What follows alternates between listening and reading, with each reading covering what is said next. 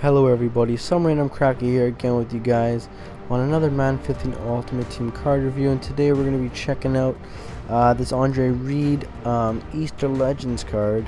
Um, I've done two videos about the Warren Moon and the Shannon Sharpe.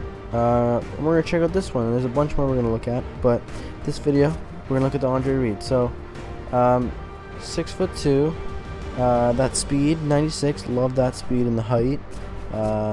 As you know, if you've seen my auction block videos, which I need to get up on. Oh, 97 catch, that's crazy. Um, I like those tall receivers, and this guy is, you know, 6'2". That's not bad. Um, what else we got? We got that 96 jump, which adds on to that height, which is really nice. Um, Andre Reed is crazy.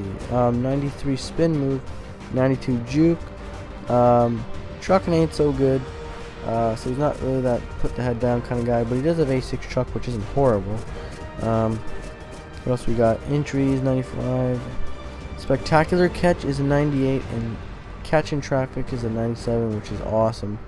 Uh, those are especially you know things you need when you got a receiver to get those crazy catches uh, in traffic.